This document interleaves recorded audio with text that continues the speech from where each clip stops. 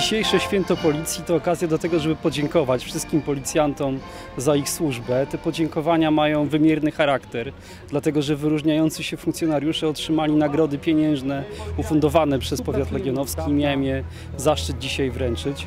E, Współpraca z policją układa się dobrze. Nasi mieszkańcy czują się bezpiecznie, a my jako samorządowcy mamy świadomość, że ta potrzeba bezpieczeństwa ma absolutnie kluczowy charakter, bo jeżeli mieszkańcy czują się bezpiecznie, wtedy chętnie osiedlają się w powiecie legionowskim, wtedy chętnie organizują tutaj swoje życie i to wszystko się dzieje. Młodsza inspektor Anna Jędrzejewska-Szpak od dnia 2000 27 lipca 2018 roku została powołana na stanowisko komendanta powiatowego Policji w Legionowie. Jest mi niezmiernie miło, że mogę kierować tą jednostką z takimi policjantami. Przyjmując to wyzwanie, mam świadomość, jak duża na mnie spoczywa odpowiedzialność. Dziękuję za zaufanie. Obiecuję realizować zadania rzetelnie i z najwyższą starannością.